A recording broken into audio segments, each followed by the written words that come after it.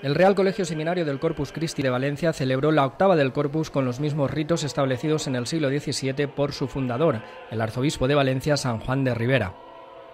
La octava del Corpus comenzó con la misa conventual en la que participaron la capilla de cantores del colegio interpretando cantos en gregoriano, tras la cual y siguiendo uno de estos ritos se ofreció al Santísimo un total de doce ramos de espigas que permanecieron expuestos en el altar mayor de la capilla.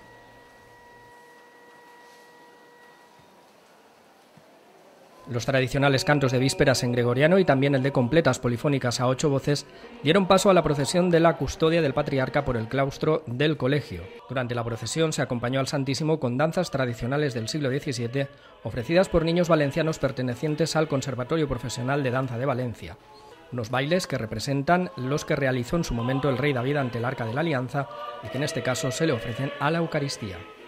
Músicos y cantantes de la capella Setavis acompañaron también a los niños durante el recorrido procesional interpretando las piezas musicales que compuso Juan Bautista Gómez.